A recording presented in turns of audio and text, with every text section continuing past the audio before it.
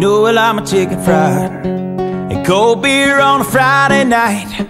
A pair of jeans that fit just right. And the radio. Whoa, whoa, whoa.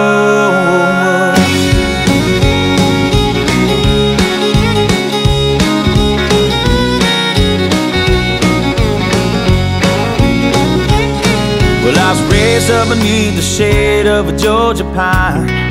And that's home, you know. Sweet tea, pecan pie, homemade wine. Where the peaches grow. In my house, it's not much to talk about. But it's filled when love is grown in southern ground. And a little bit of chicken fried. Cold beer